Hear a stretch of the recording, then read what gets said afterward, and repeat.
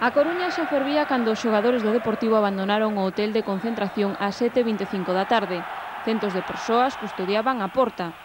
Outros agardaban en Riazor a chegada do autobús dos protagonistas e outros moitos aproximábanse pouco a pouco ao estadio dentro dos seus domicilios.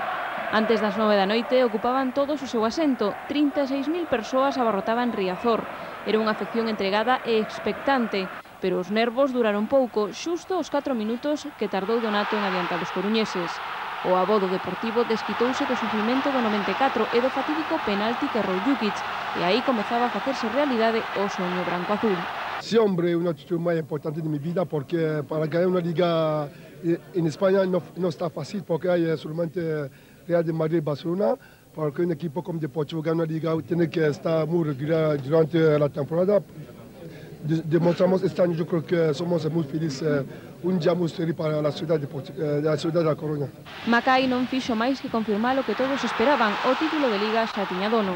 Os corazóns latexaban a un ritmo frenético, contendo a moción ata o subío final, e iso que os remates dos outros partidos do Camp Nou e Mestalla aseguraban o título. Entón Riazor viviu a máis emocionante das invasións, mesmo o capitán do equipo só puido conservar os calzóns. Ninguén quería marchar sen o seu tesouro, sen unha lembranza daquel fito histórico. O campeonato era unha realidade, chegaba o momento das celebracións. Os xogadores empezaron por tinguil o pelo, tinte dourado encargado por Salmiña e cita coa prensa coa cabeza envolta en papel de prata. Non sei sé que pensa me tira do suelo e mono se ponía por encima besándome e... No, son cosas yo creo que en este momento quitaba todos los nervios que estaba dentro del campo, dentro del estadio, fuera del estadio y en este momento el título estaba seguro, seguro. Estoy contentísimo, sobre todo por el triunfo de equipo, porque eh, hemos conseguido llevar al Depor a la historia y darle a la afición una alegría que, que se llevó un disgusto muy grande hace bastantes años con aquella famosa liga que se le escapó en la última jornada. O céspede tamén se tinguiu de branco-azul, os campións respondían desde o palco. O sucedido no 94 invitaba a cautela e a improvisación á hora de celebrar, pero había sorpresas gardadas en rigoroso segredo, como o autobús descapotado. Nel, xogadores, técnicos e presidente non escatimaron en coreografías, sobre todo a chegada do corazón do deportivismo. Na praza de Catro Camiños era difícil calcular a magnitude da concentración de xente, e fixo imposible que os campións desembarcaran na fonte. Tanto tiña, agardábaos unha noite de troula a tomencer, a noite máis máxica da historia da Coruña. A pregunta do futuro será onde estabas ti o día que o Deportivo gañou por primeira vez a Liga.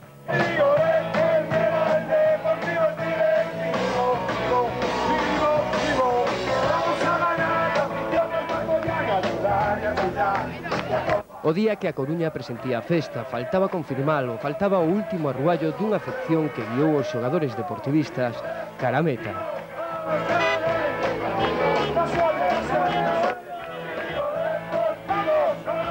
Na hora da verdade, Donato ampliou a folla de servicios e Macai converteu o partido nun trámite e a Riazor no estadio do Delirio.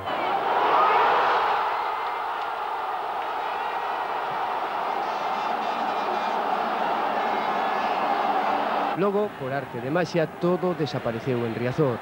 O verde do céspede, as redes e a roupa de Fran.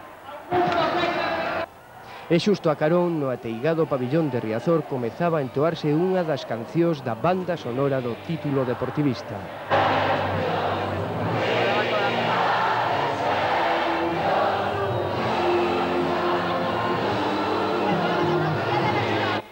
De bala noite cara hora de, o baño de multitudes na praza onde catro camiños se xuntan e onde todos os protagonistas exploraron a catarse do éxito.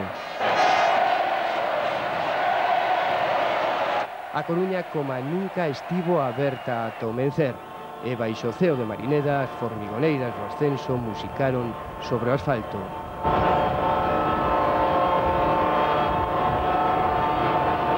O sábado, o Deportivo nun novo acto multitudinario acudiu á Casa Grande do Concello Coruñés para prometer desde aló que volverá e pronto. Antes seguirá a xolda polo título ligueiro a Federación de Peñas realizará este domingo unha romaría urbana. A festa continúa. Imos lembrar esas imaxes. Aí están as imaxes do final de Liga, cando pita García Aranda e cando estalla, cando explota Riazor.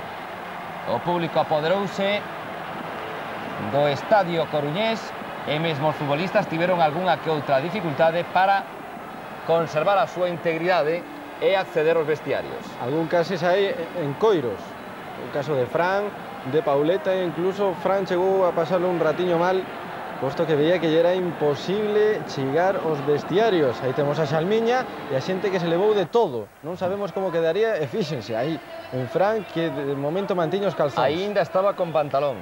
Efectivamente. Pero ainda así, volvemos a incidir no que se incidiu esta tarde na voz do Concelleiro de Deportes e do alcalde. Todo aconteceu sin incidentes. Nin en Riazor, nin a Ponte de Catro Camiños, nin o paseo no autobús descapotable deportivo, absolutamente sen incidentes.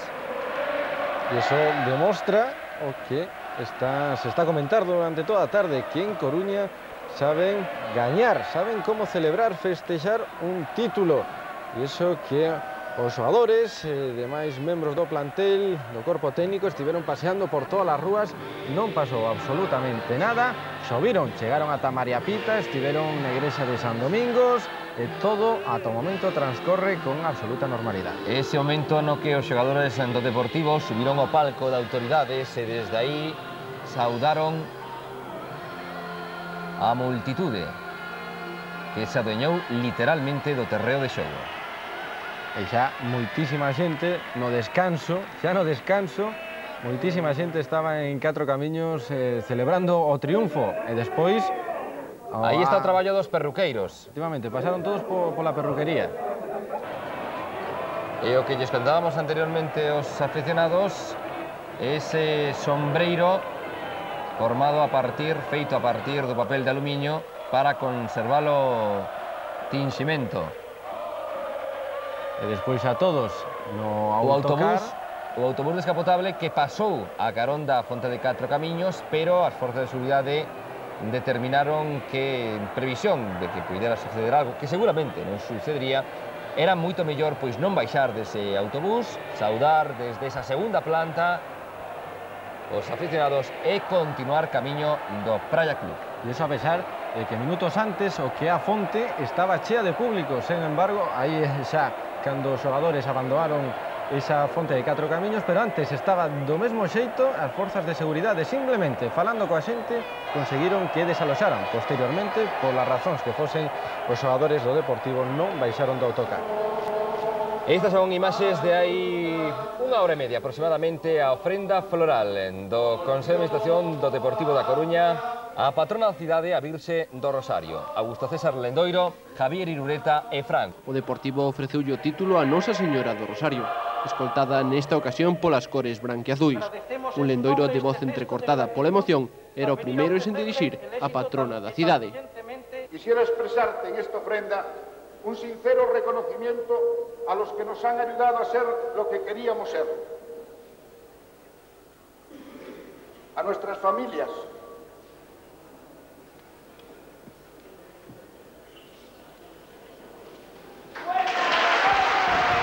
Tras a ofrenda floral a cargo do presidente, do adestrador e do capitán, o tocar dos campións de Liga acudiu a unha ateigada Praza de María Pita. Uns 50.000 xiareiros branquiazuis reuníronse os pés da heroína coruñesa para celebrar e aclamar o seu equipo. Mentres, na balconada do Concello, Augusto César Lendoiro e Francisco Vázquez, unidos na celebración, saudaban a marea de afeccionados. Técnico e capitán foron os primeiros en pedir a palabra.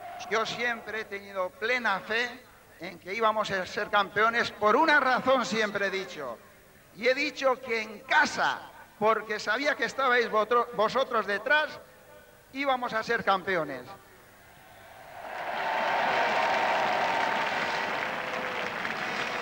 Solo vos vou a dicir unha cousa. No 95 ganamos a Copa, este ano ganamos a Liga e po ano a Copa de Europa.